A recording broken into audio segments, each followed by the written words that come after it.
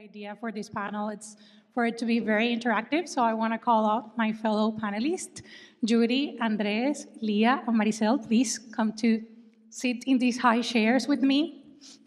I hope none of us falls down these tall chairs. I forgot. Oh, sorry. I, I only forgot to say mention one more thing. Um, you guys already been in a few sessions here, so I not don't want to be repetitive, like saying the same thing.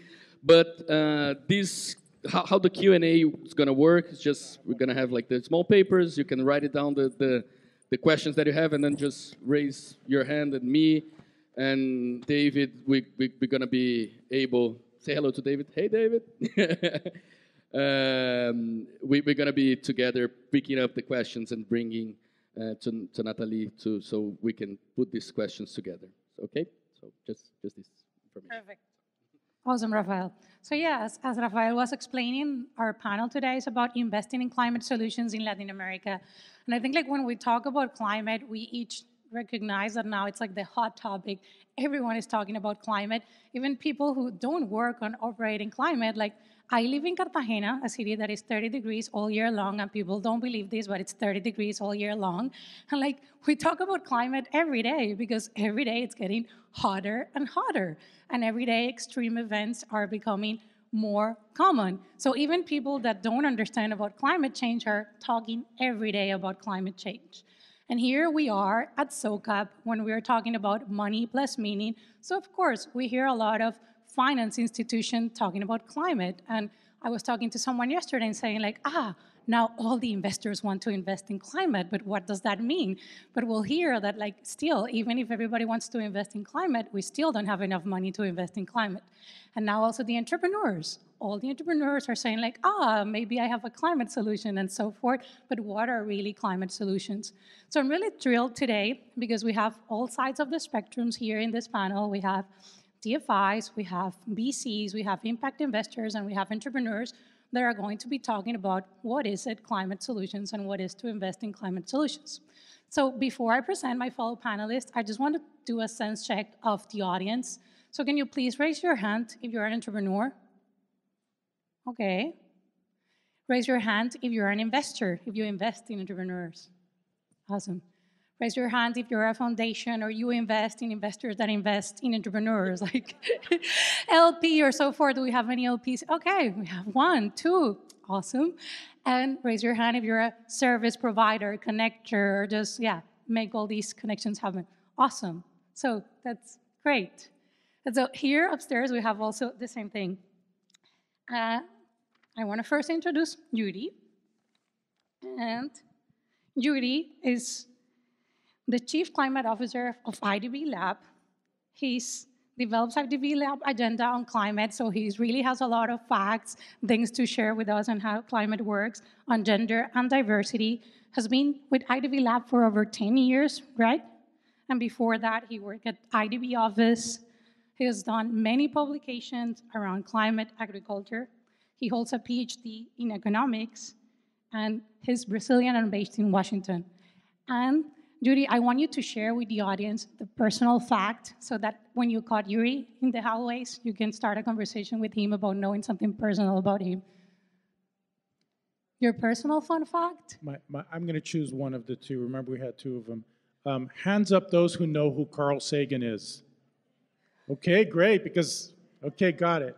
So once I asked Carl Sagan for bus fare because I'd run out of money and I didn't know it was Carl Sagan. I looked up and said, oh my God, you're Carl Sagan. You're like my idol from Cosmos and everything growing up. So that's my personal fact. Thank you, Yuri. Next, I'm going to introduce Lia Gonzales. She's the Regional Director for Latin America and the Caribbean for Incofin. And Incofin is an impact investor that provides organizations working in financial inclusion and sustainable agriculture financing.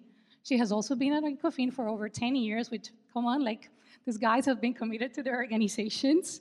And before, she worked in public-private partnerships for infrastructure projects in Latin America. Lia, do you want to introduce yourself with your fun or personal fact? Okay, so I, I come from the coffee region in Colombia. And I grew up in a coffee farm. I work with coffee. I love coffee, but I don't drink it. I cannot drink it or too much of it. So if you're meeting Lia, ask her for a tea, not a coffee. Next, I want to introduce Andres from Salvia Ventures. He's the managing partner of Salvia Ventures. He's a VC investing in climate tech entrepreneurs. Before that, he was the managing director of ENGIE Factory, ENGIE's Latin focused corporate venture fund. And he has been a board member of the Chilean Venture Capital Association.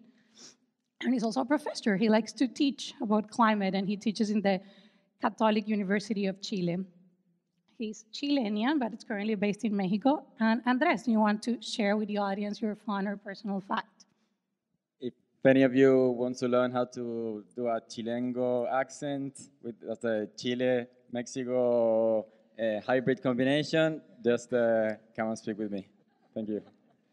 So, Chilango accent, that's what we should ask you. Chilengo Okay, perfect. Yeah. Awesome. Got it. takes years of training. And last but not least, we have our entrepreneur in the room, Maricel Sáenz. She's Costa Rica. She's from Costa Rica. I don't know how to say Costa Rica in English. Okay, good. Maricel is the founder and CEO of Compound Foods. She's going to be telling us all about the amazing work that her startup is doing. She's, she was named Forbes 30 under 30, 30 under social impact category. Previously, she co-founded Next Biotics, another startup addressing antibiotic resistance. And she worked before in Monitor Deloitte in corporate strategy and innovative consultancies. She's, based, she's from Costa Rica, but is based here in the Bay Area. And Maricel, can you tell us your fun or personal fact? I don't, I don't know. Does this work? There we are. Uh, I don't know how fun it is, but I really enjoy scuba diving. I say because it's the only time that I can actually shut up. um, and the more sharks there are, the better. So yeah, the more closer the sharks get, the, the happier you are scuba diving. So okay, if you love scuba diving or like the ocean, talk to Maricel about it. And my name is Natalie Vergara. I'm Colombian, based in Cartagena, as I said, and I'm with Mercy Corps Ventures, an impact investor working in emerging markets, mainly in Latin America and Africa. We invest in companies in ag tech, food tech, and climate tech. And my fun fact is that I love dancing, I love music, and like if you'll see me around, you'll see me moving, but I don't know any lyrics of any song, so I make up my own lyrics of the songs that I like. awesome. So now that you, you can you know a little facts about us, we can start talking about the main topic of discussion today. So really, like the first question we wanted to ask about this, and I'm going to start with you, Yuri, since you've been studying this for a while, it's really to put us in the scene, like what is really happening with climate change, particularly in Latin America, and why is it different in Latin America than in other different than in other regions of the world? No, sure, and and and and this is something that's that's close to my heart. Also, uh, a passion of mine for for uh, for many decades. Um, uh, so I just share a, a very brief anecdote. Uh, maybe two months ago, uh, I was attending a Yale seminar on climate economics. They have a great seminar um, that, that they do monthly, and we're looking at some of the projections of 50 years out, right? If we don't do anything, 50 years out, what's going to happen? And and and and it was it was pretty it was pretty dismal in the sense that um, both in terms of of um, damages due to climate change, also in terms of migration, conflict. And Latin America actually has a lot of these risks. We have a lot of the risks in Central America. We have a lot of them concentrated in Mexico, and and we have a huge amount of concentration and risk in Brazil and some of the Andean countries also. So, so when we're looking at, at the 50-year projections, we're talking about massive um, shifts of people and of GDP out of regions where right now are some of the wealthiest regions that we have. So it's, it's, it's, a, huge, it's a huge deal. It doesn't happen overnight, but it's one of those things that it, it, it, continues to get worse and worse and worse. Okay, so so that's the, the downer, right? But I'm not a downer person. I'm a very optimistic person. So what does Latin American have? Latin American has one of, and, and not one, it has par uh, excellence, the largest reserve of essentially natural capital on the planet, um, and not just the Amazon, um, and throughout, distributed throughout, throughout, throughout the region. Um, that means the largest reserves of biodiversity, of fresh water, of air, the largest carbon sinks, and in terms of coastal resources, um, the, the, the, largest uh, or some of the largest uh, um, reserves of, of natural capital and coastal resources too. Now, what is the problem with that? The problem is that we really don't know yet how to integrate this wealth of, of, um, of, of, of, natural assets into our lives in a way that's sustainable. Um, we know that estimates are about $9 trillion, okay, in terms of uh, kind of nature-based economics. But when you look at the nature-based economics that are currently transacted on the planet, what do you think they are? They're going to be in agriculture, they're going to be in extractives. Okay, so essentially that dominates all of our nature-based uh, uh, transactions right now. And for every dollar that we have in nature-based transactions that we're transacting today, essentially in agriculture and extractives, we probably have about 10 or even 20 additional dollars which are in aspects of nature um, which are uh, regenerative and which produce additional value of capital that's good for nature rather than being uh, kind of exploitative in nature. Um, so, so this, this is, and, and, and a lot of it's concentrated in our region, right? And we have people here, well, all of us here, who are actively involved in developing these assets, right? Everyone here is doing that. So, so anyway, I know you want to keep it short, so I'm gonna, I'm gonna shut up now. but I think that is the huge asset that we have in the region. We have a huge risk, huge risk, and we have a huge asset also. Yeah, thank you. As you said, I love that summary. We have a huge asset and we have a huge risks. So with that summary, I'll pass it over to Lia to ask this question of like, what does it look like in LATAM? So if we dream and we think about 10 years down the horizon, like how do we live up to, live up to these risks and these assets? Like what's the future like for Latin America in 10 years when we think about climate solutions? What's your dreams? Well, I think uh, what we expect is that, uh, for example, biodiversity credits become what carbon credits are today.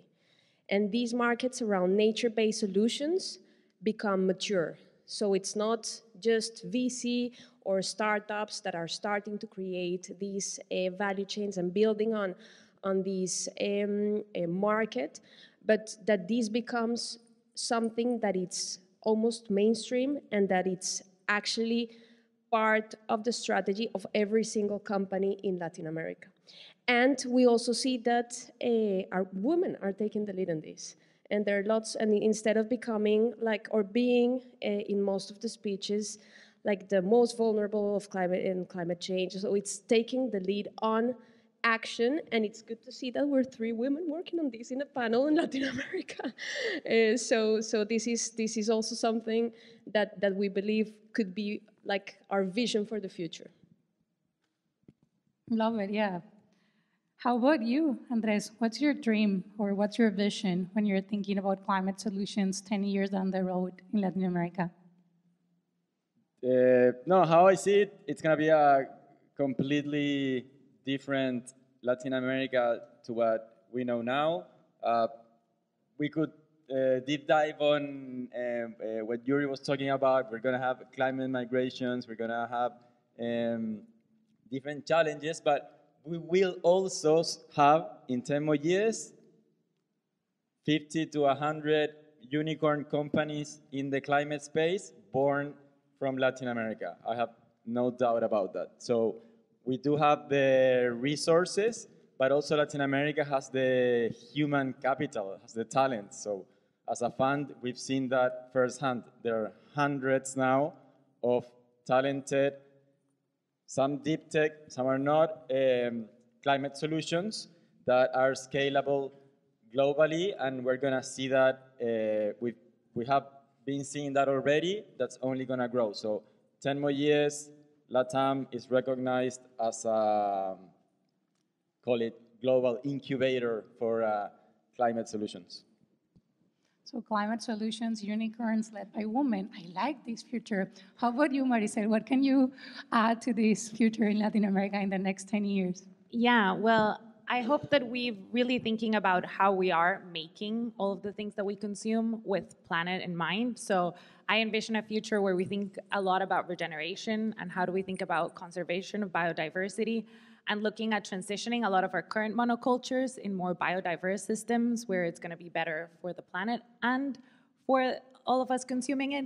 And I'll just add an extra layer there of saying that I'm hoping that 10 years from now, every single government and every single political party has climate solutions as the center of their agenda and that that's what's driving how we're electing our leaders because i totally agree that i hope we have unicorns and i hope companies are involved but if we don't have government setting regulations around how do we use our resources we won't be able to transform the region So government involvement, and Yuri, anything you want to add to this 10-year future ambition?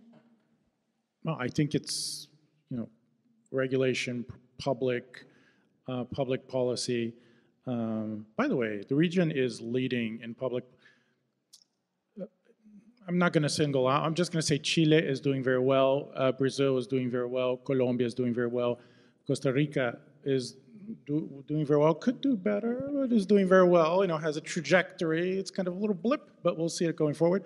So it, it's a rich region of climate action and, and, and commitment to, to, to, to climate. So I think that's, that's, that- that's there. I, I love the idea of the unicorns, and I love it, of, of just multiplying the activity and, that we're going to have in the entrepreneurial um, uh, sector.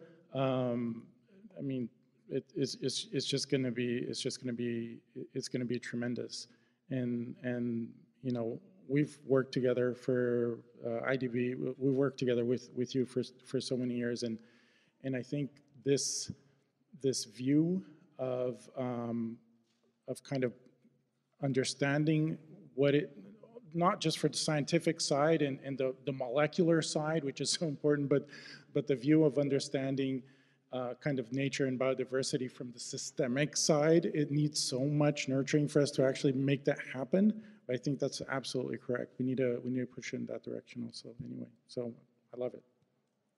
Yeah, I love this future of thinking how can Latin America be positioned in a unique position to, to make this drive. And but before we go there, let's think like how are we going to get there? And I also we wanted to ask the audience a question on what's the state right now. So I'm gonna do like again like raise the hands, and Yuri is going to help me with this if I get anything wrong. But basically, the question is, you know, we all have like the Paris Agreement, which really we have the aim of keeping global average increase in, in, global average temperature below two degrees. So the question is, raise, I want to raise your hands and like the question is, if you believe if we're going to keep the increase, the increase in global average temperature below one degree Celsius. Raise your hand if you think we're going to keep the increase of global average temperature below one degree Celsius. Have a good audience. It- It's a trick question. Raise your hand if you think we're going to keep the increase of global average temperature below 1.5 degree temperature, degrees Celsius. Come on, optimists in the room, 1.5. 1.5, there we go. One, one, someone more for 1.5. No? Two, two, three, four. All right, all right. And now raise the, the, the hand if you think we're going to keep it at least below the two degrees. Okay. And above the two degrees? Okay, so we have some pessimists in the room. So basically, like, yeah, this is what God get us to, to the place where we are right now. And I think like we need to work on like the reality is that we need to work on both ways. So we need to work on solutions that are going to help us that we really don't get above two degrees. But the reality, as Yuri can explain better, is that we're already mix the the the deadline on the one degree. So indeed, the temperatures are getting higher, and we need to live with that. We need to understand what are the solutions that are going to help us to better adapt to climate change. So now, time for the solutions. I want each one of you to present one solution and like, please make it un- us understand that solution so we can pitch it and explain to anybody else that we're talking about. One solution in climate change. It can be either in mitigation or in adaptation, but one solution that you think us could lead us to this dream future that we're thinking about in 10 years in Latin America. and I would leave it who would ever want. No, first Maricel, which is the one that is working every day on one solution. So please, Maricel, tell us about your solution. In a minute. So uh, we believe that if we use upcycled ingredients or agricultural side streams, things that we can grow in countries like the US and transform them using fermentation, then we can create products that are climate proof, that can compete in terms of price, but have a reduced burden on the environment. And we measure that in water use, carbon emissions, land use without having to sacrifice the quality of the product because one of our core beliefs is that we need to empower consumers to make better sustainable choices and the way that we do that is by giving them actual choices where the, the- it's not really a sacrifice but but a true empowering option so that's our solution But 30 explain us a bit more how it works, please. I want to know. yeah. So what, what we've done, uh, for those of you that don't know, at Compound Foods, we're working on recreating coffee without using coffee beans, which it's controversial when you talk to Latin Americans about it. I'm originally from Costa Rica, so we are a proud coffee producing country. But coffee has a couple of main issues when it comes to climate change. The first one is that when we look at its resource intensity, it actually ranks fifth in our value chain. That's above poultry, swine, fish, eggs in terms of carbon emissions per kilogram of coffee, as well as water intensity.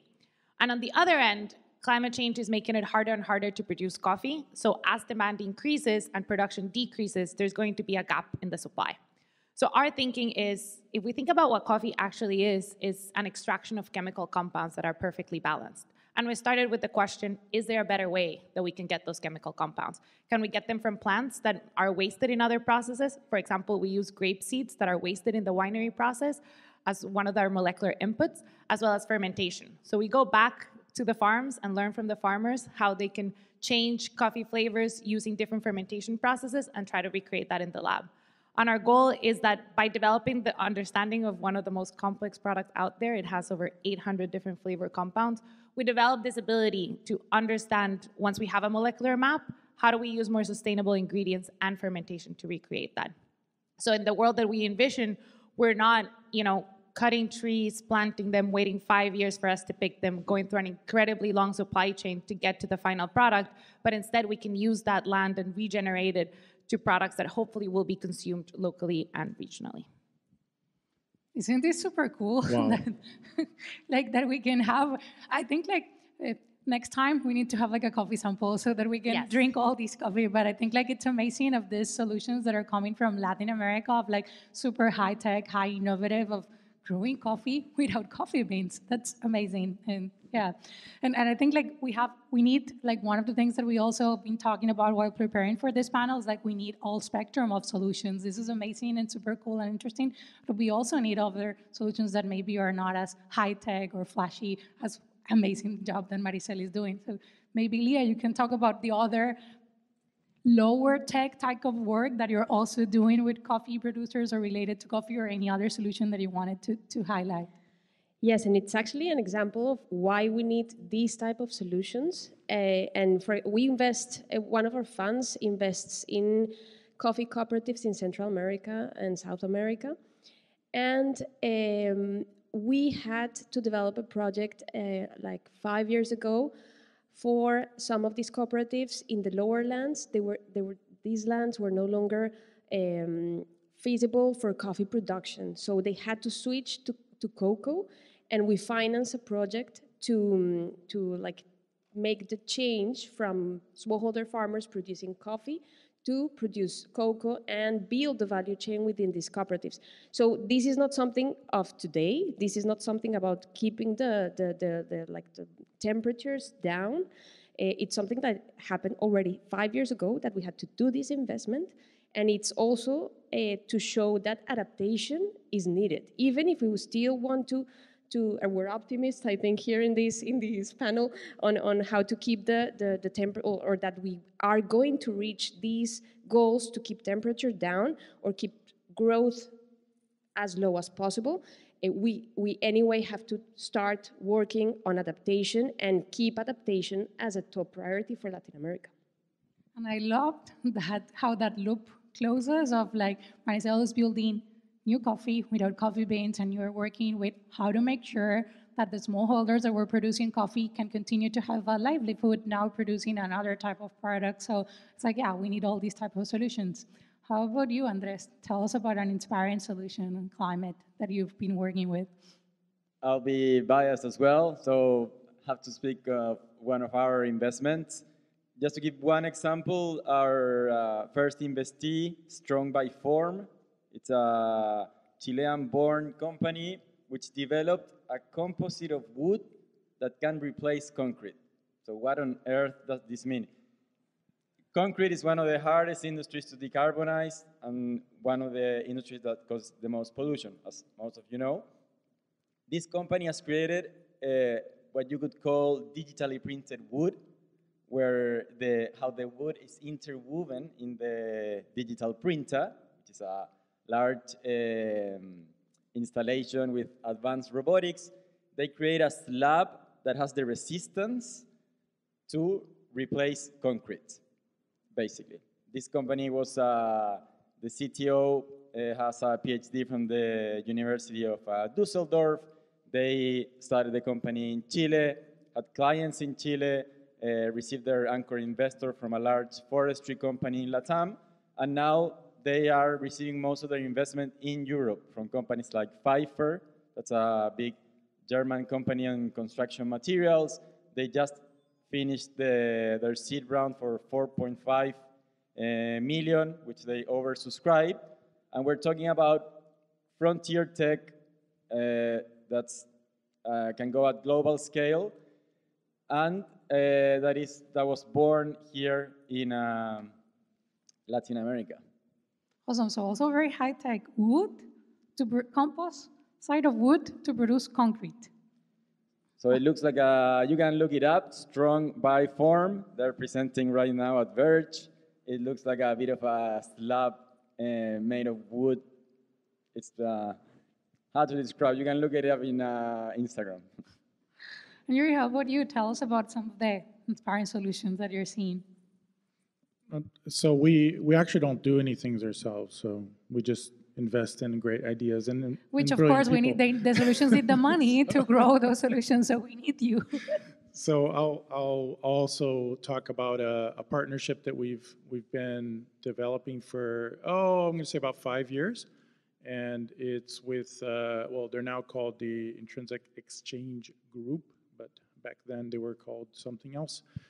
And the, the objective of this is, is to be able to find a way for companies which are developing uh, natural capital to be able to list um, in exchanges and be able to be uh, recognized and um, have the rules of listing that accommodate the particularities of what a natural asset company would be.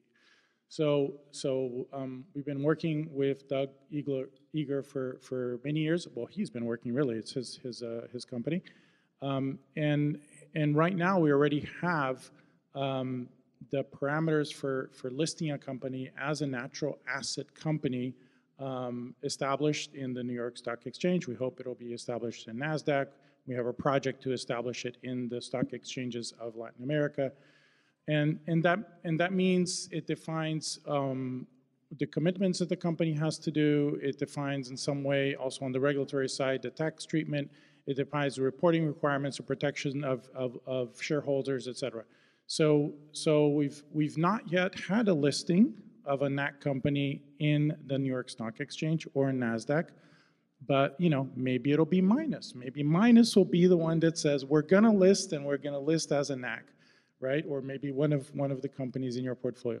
So that's super important because it allows um, it allows you to raise capital in an in in a way that's established, but channeling it towards the companies which are going to have tremendous impact in nature. So I think that's uh, that's something we've done with Doug, and I thought it was thought it was really really interesting.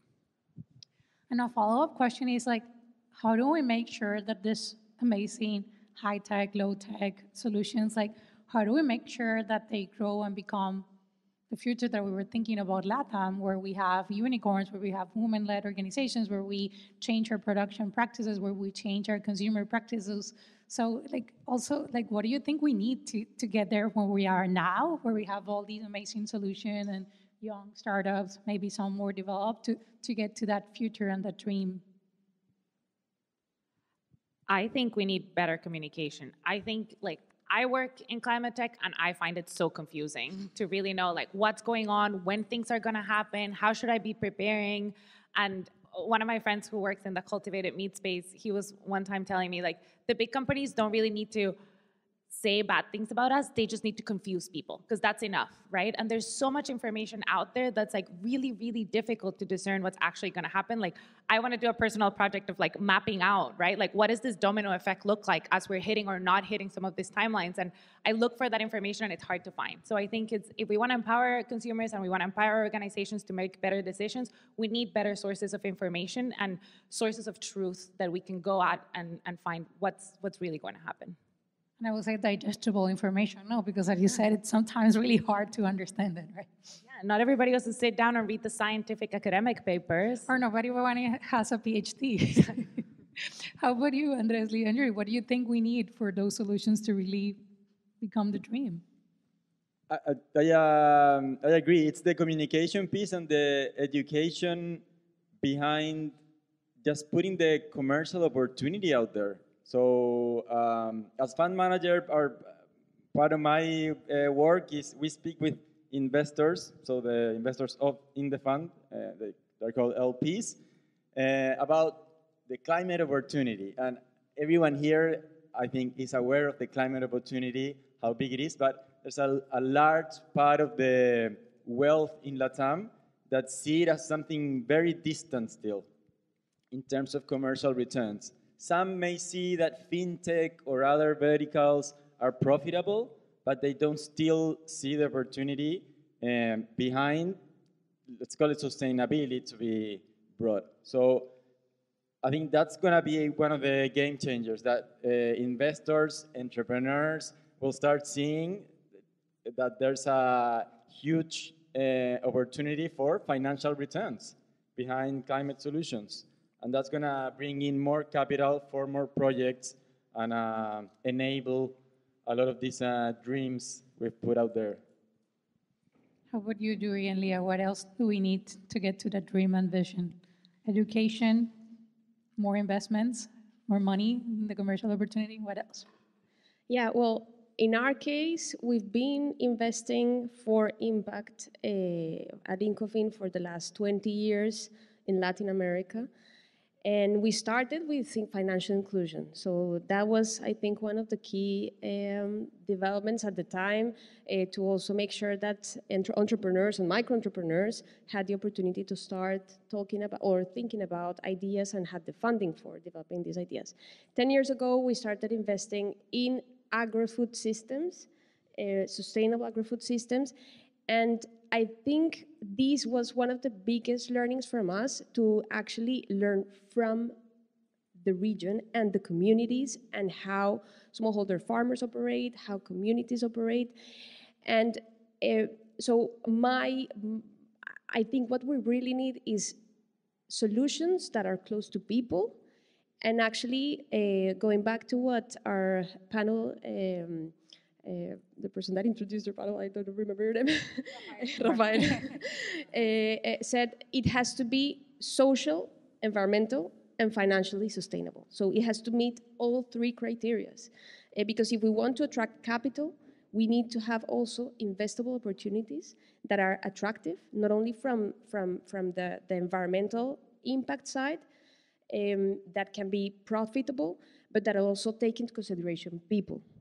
So for us at Incofin, that's why we're working on developing two funds right now that have this link between social, environmental, and a, um, financial as any other impact investor, but uh, but with with bringing like our experience from the field, and we're actually working on a, in a fund uh, for the Amazon um, that it's it's focused on mezzanine debt for the Amazon um, for uh, supporting SMEs in trying to, or no, in, in projects that build climate resilience and or have a component of biodiversity protection.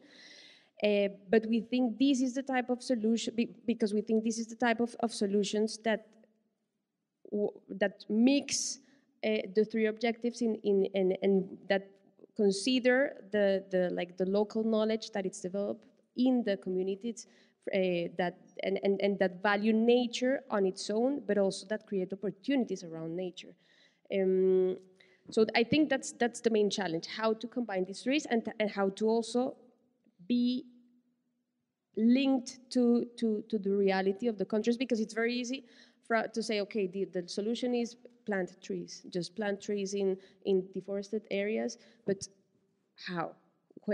With whom are you going to do this? So are you going to buy land and plant trees there and just uh, uh, promote a lot of migration uh, from these regions? Or how are you going to actually do it?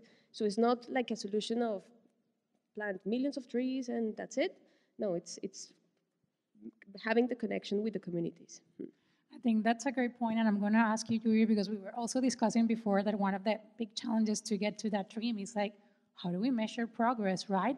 Because when we're talking about climate mitigations, there's a simple indicator, how many CO2 tons are you capturing or preventing to get from the environment? But when we're talking about climate adaptation, coming back to your point, like, how do we even talk about it? What is actually climate adaptation? How do we measure it? And I don't want it to completely get derailed because that's a very technical conversation, but if you can just give us a bit of sense of how do we need to move forward to work towards what Lia was saying of how are we going to be measuring this positive impact that these solutions are having so that we can attract greater investments to these types of solutions that they can prove that they're actually having that impact on the people, on the planet, and the commercial returns. No, I, I couldn't agree more. And I, I, would say that the, the two challenges that we have internally are, as you mentioned, mitigation is is a, is a, is a standard and kind of given by the goal almost. And but the two challenges that we have are on on measurement and tracking of adaptation and measurement and tracking of biodiversity. There are two things which are terrifically important for us to do and where every day it seems like the science has moved, the science has advanced, and we're looking at it from a different angle. So that's good. That means we're not stuck in the same place. We're making, uh, we're certainly making progress. We're, we're understanding it better, but um, it's, it's, it's still far away from where you need to be for it to guide action, for it to like serve as, as, as a rudder of where you want to go. Um, so certainly we have uh, kind of ecosystem approaches to adaptation, how resilient is an ecosystem. It's not uh, necessarily the person level or the household level or the company level.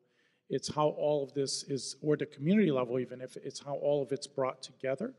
So um, there's, there's public policy layer on the ecosystem approach, and then there's kind of the individual areas of, of, um, of, of measurement at, at kind of household and, and, and firm level. And they're very interdependent in the sense that um, progress in one area could inadvertently generate problems in the area right next door, right? So you really have to be aware of the interdependencies and the interlinkages in, in, in, in, in measurement.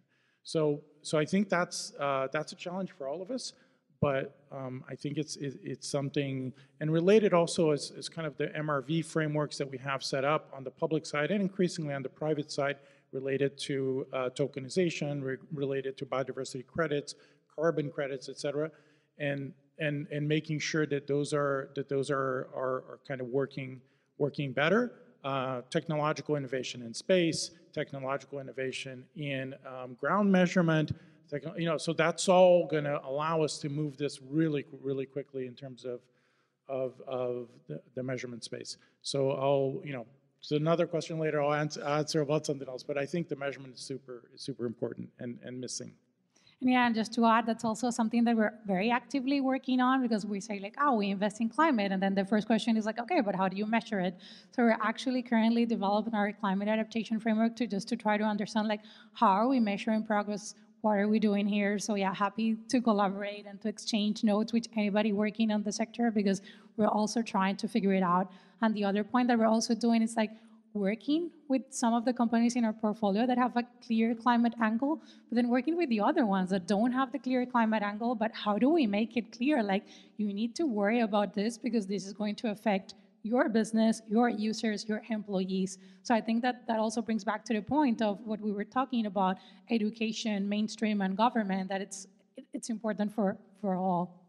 And just final question before we open it up to the audience with questions is, how do we attract more investments? Like we have in the audience investors and LPs, and we're saying that one of the key important things is that we need more money in the region to make sure that the solutions grow and scale and become unicorns and stand their way of working. So what's your pitch to the audience that has money and saying like why they should invest in climate solutions in Latin America? What's our competitive advantage? Who wants to start? Andres. Um, yeah, what's the pitch? We have hundreds of startups in the region that are resolving uh, climate change. And on the other side, we have this spiking demand from corporates for uh, climate tech solutions. So corporates are committing to the same goals you see in uh, developed markets. They want to get to net zero by some by 20, uh, 2030, some a little bit later. So we, we speak on a regular basis with uh, sustainability managers, corporate affairs managers, and we're seeing this sort of desperation in the air because they, they see the goals coming closer and closer. They need climate solutions, and it's, just, it's not going to be as easy as just importing all of them. So the demand is there, the startups are in place, and we're seeing startups that have more traction at lower valuations than you will see in uh, Silicon Valley. That's a huge opportunity to invest, scale solutions in LATAM, where we have the natural assets, and take them at a global scale. So commercial opportunity, great traction, lower valuation that can lead to higher returns. How about you, Maricel? Why more investments in the region in climate solutions? Well, I, I have a different perspective. I think when we think about climate solutions, we should come at them with like, does this is this going to be a big business or not? And and take out like, let's not invest in it because of climate, as well as like, we don't want to invest in women just because they're women. We want to invest in it because they're amazing businesses. So the great opportunity here is that a lot of the people that are working on material innovation or food technology innovation is the goal. We want to make the best quality product at a competitive price. So if you think about this in the market I was going to say if, but when we make the best tasting coffee possible and we can also make it at the cheapest cost, the opportunity is going to come from a market potential and not because it's more sustainable. So a lot of the companies these days have gone away from thinking about how do we meet goals and it's like how do we give the market something that they could never turn away from. So higher quality, lower prices, big scale and giving consumers what they want. So basically, we would only want to buy your coffee. It needs to be exactly. everywhere. I love it. I like it. How about you, Liga? Yeah, I, I, would add a little bit on, on what, what has been said, and I, I, I think it has to be a vision on the financial opportunity. And if you want to attract more money into Latin America, it has to be a great business, and it is. And take coffee. Uh, it's billions of dollars of, of, of uh, a sector that it's worth billions of dollars, uh, but it's but you have acai that it's growing at rates that are, yeah, huge, and there is palmito, and there is buriti, and there is like all these very like exotic products that we don't know much today about as a consumer, but that are like really game changers in, in, in how we will be consuming in the future. And it's adding or re, like even raising awareness on the value of all these natural resources that are there that we don't have uh, or that are not commercialized right now as, as, as the huge or, or like the big businesses, but that will be in the, in the next 10 years and cosmetic, the cosmetics company, uh, the cosmetics uh, sector is growing a lot in Latin America based on nature solutions that are have components that are have yeah yeah that are like what you said it's like millions of components of one little plant that creates uh, uh, things that are that are very very yeah that could be very um, profitable Okay, so the business opportunity of all these exotic plants that can be used for cosmetics or to be eaten that we love, it's based here. Like it. Yuri, what else? Why invest in Latin America climate solutions? I mean, I, I you know, I'm, I'm going to go back to the two degrees where everyone raised their hands and two and a half, three. Um, so the the reality is that that we're, you know, infrastructure is going to have to be essentially reinvented. Materials have to be reinvented. Agriculture reinvented. What do I mean by reinvented? I mean, you just have to turn on the news to see what is happening, right? It gets too hot, and you know, suddenly the metro in Washington doesn't work because the rail's separated. Uh oh, that's a problem. We need to go and rebuild all that infrastructure it gets too hot and oh my god the planes can't take off anymore because you know the air density has changed and the you know the air over the wing is is is less dense. That means there's less lift. That means it needs more runway. That means it can't go. So they have to be parked there and waiting. All of this is going to continue and continue and continue and it's a business opportunity right? It's a business opportunity. Um, coffee is a business opportunity. If we didn't have anything going on in climate change, probably the motivation would be slightly less. I'm sure it's delicious and we're all going to go to your, your coffee, but the motivation would not be as strong as it is right now. So I think, I think that, um, that part of communicating in a medium term what is going to be necessary um, you know, we all started with insurance and fintech and this stuff, and, and now we understand it's everything. So I mean, I think that's that's the that's the that's the business case that that that we need to that we need to be um, making right now. I love it how you put it, changing the challenges to business opportunities. So now I'm going to open up. Like I know we're questions. We're a small room, so anybody has any questions,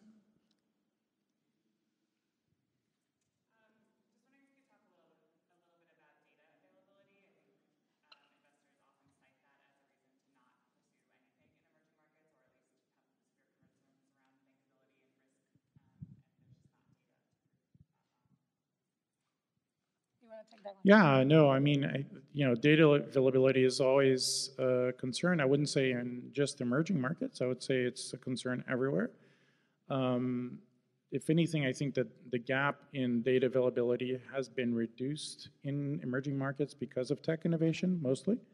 Um, and, and some of the dependence on, on kind of brick and mortar legacy infrastructures to produce data have been overcome with technology and not just in the financial sector, but I would say across the board. Um, so I think that's that's certainly, uh, you know, I mentioned satellite data, uh, ground measurement. Um, um, I think uh, the MRV frameworks are super important, and I think they're important for investors, and they're important for um, not just investors, but everyone who's going to participate, because they're going to be also purchasers or consumers at one point. Um, what I what I would say is compared to where we were even five years ago, the data availability is vastly better, vastly better. So I think it's I'm not saying it's not a problem. It's a problem, but I think we're we're really moving in that direction. And I would just add that I think like in Latin America, there's also a sense of collaboration among actors that maybe is not the same in other regions in the world. So if you reach out to other investors or entrepreneurs, I think like we still have this feeling of we have to figure this out together. So like my other advice would be like, yeah, to reach out to actors in the region and looking for the data that you're looking or for collaboration because I, I do think like we do have like the spirit of building this together because we still need so much more money. So even like, yeah, when, when everybody's raising money and talking to LPs, we are rooting for our neighbor because we still need more money and more investors and more entrepreneurs and more actors in the region. So that, that will be my other. And I would add, I would add that technology plays a key role for that too. So this is also that something that we're seeing in the region that technology is actually and, and agtechs and fintechs and all these like uh, technology-driven companies are actually building these data and measuring and making it a little bit more transparent for for for all the stakeholders. And we have a question for the from the audience. How can we involve the government to the climate solutions? And am I going to put you in the spot, Maricel, that I think you were leading some initiatives. So you want to tell us about a practical way of how to make this happen? Involve the government? Yeah. Oh, I'm, I'm not sure if anyone has ideas. I, would love to hear them. um, I mean, my my approach has been with the government of Costa Rica. I, have been very open about what we're doing, and it's actually been interesting the amount of research that they've done. For example, Costa Rica went through this process where they had 250 different crops and went through an analysis of which ones are we most competitively positioned to grow. Turns out it's not the things that we're growing. But there are 10 items that are ideal for us to be growing in places like Costa Rica where we would be able to grow them at better efficiency than anywhere else. So we're working with not the government, but an adjacent partner to help coffee farmers transition into more climate resilient crops. So we're donating percentage of our revenue to actually do intercropping systems where we're getting them to diversify their income. My goal is that if this works, and there are case studies that they've already tripled their income in many ways, we can use it as a case study to bring it to the government and say, like, why do we have 90,000 hectares of Costa Rica planted in coffee when, you know, we don't even make that much money? Most of our coffee farmers are actually below the poverty line. The money is being made by the roasters here and, you know, a- across Europe. So, like, why don't we transition our country to grow what we are most competitively positioned to do? They have the research, and my goal is that we can, you know, come in with the data of saying we've, we've demonstrated that, and, and that is has been our government relationships so far. Any other insights or examples? I mean, I, th- I think the government is, governments are kind of fully engaged in different dimensions of this problem already. Um, a few things that I, that, that I would focus on. Um, yesterday, we were talking about um, facilitating financial flows into the sector, and that has a lot to do with the government enabling this to happen. Um, we're talking about open banking initiatives in Brazil, which are going to you know, recruit capital from outside. This capital can easily be directed towards you know, the highest impact and the highest return on, on the climate um, agenda. So, so I think that's, that's super important. Um, you know, R&D efforts in Latin America are not where they should be. They're lagging behind. They're underfunded. The talent is not well managed. The relationship between research development and companies and innovation is not what you see in Silicon Valley. It's not what, you know, so there's a lot more to be done on that, not just putting more um, funding, but working in a more collaborative uh, way, in a, in, in, a more dynamic way with, with um, between government and enterprise in Latin America. So I certainly, I think that is, is absolutely um, necessary. And then there are like, like public goods that governments need to be doing more of. Um, uh, you know, understanding the characteristics of land.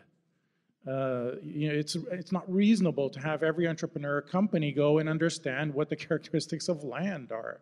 This is something that governments have to do. They have to make these maps and, and, and data sets openly available for everyone. And you know, everyone can compete in a fair marketplace. But these are certain aspects which are really um, um, specific of what of, uh, of what government should be doing.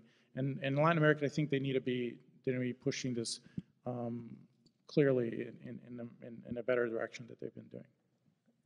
I, I would add quickly that I think at least in Latin America, from from the con- in the countries that we work with, it's a topic that it's that governments have in the agenda and it's a key element of the agenda for example south america right now it's becoming bioeconomy is like the top uh, one of the top uh, topics in their agenda, in, in, in, the political agenda.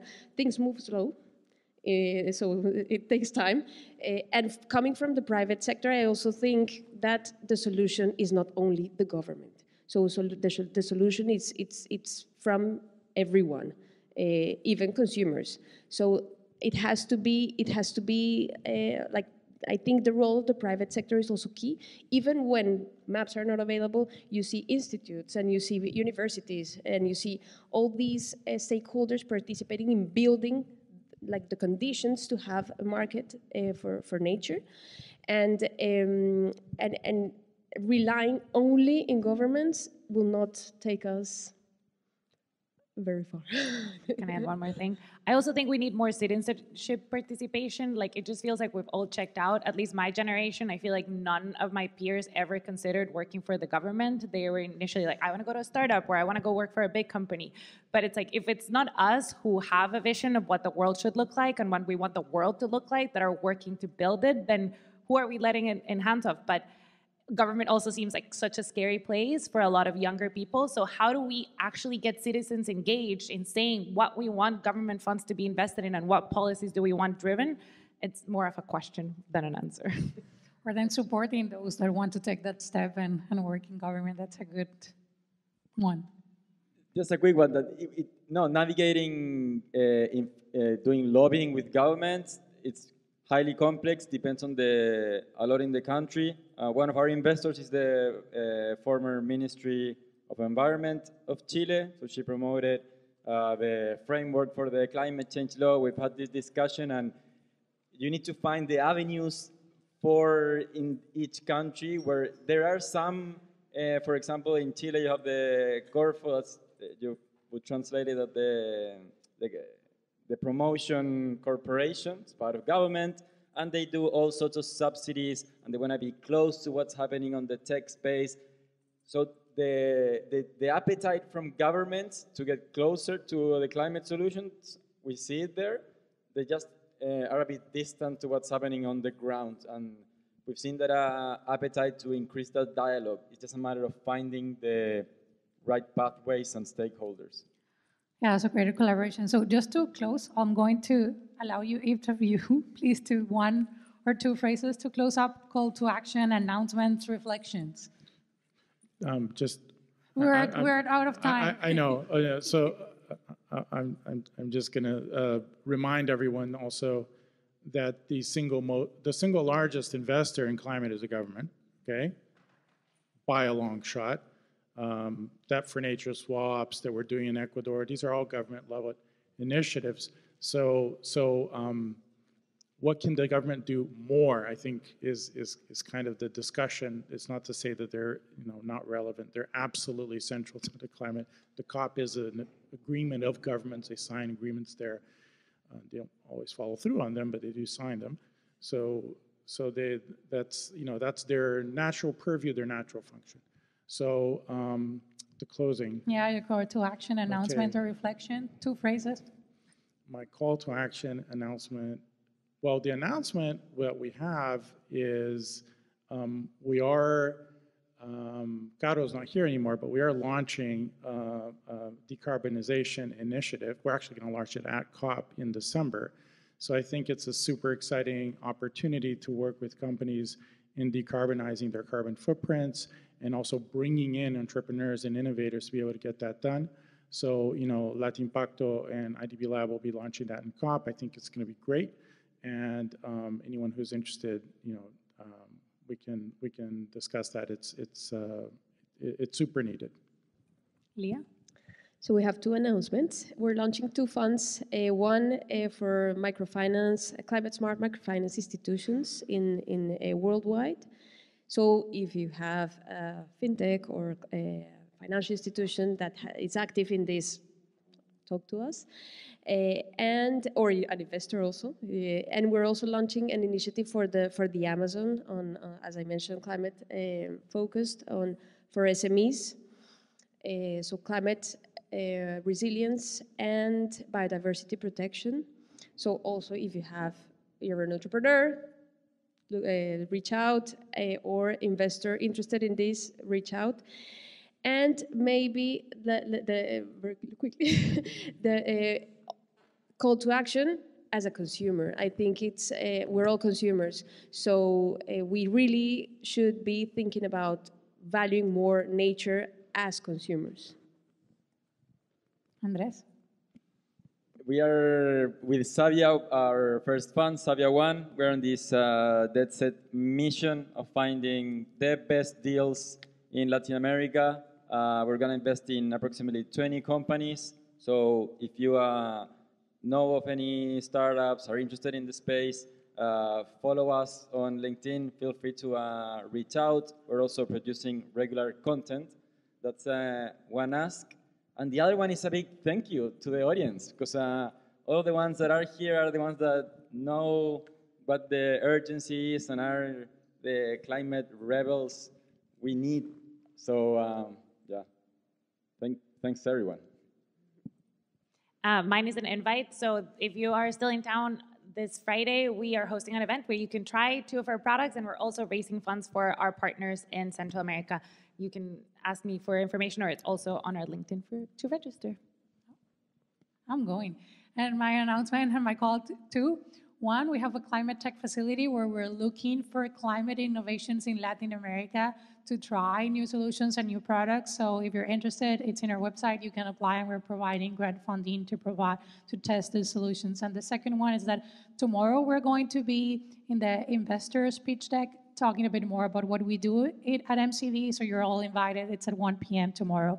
And just before you take the microphone away, Rafael, since I'm the moderator, I just want to close out with my three points that I was taking from all the conversation. Thank you again for for such a vibrant conversation. Like the first one, I think like was raised upon. It's like really, we need solutions to prevent the weather and the temperatures to continue to rise, but we also need to invest in solutions and to look for solutions that are going to help us adapt to the new law, the new world that we're going to live in, because it's a reality. The world is getting hotter and we need to adapt to it. The second one is that Latin America has an unique and an incredible position, and that we have these amazing solutions, entrepreneurs, and overall ecosystem that is working towards these solutions. So we need more financial investments and like the opportunity it's there the market it's there and the solution it's there.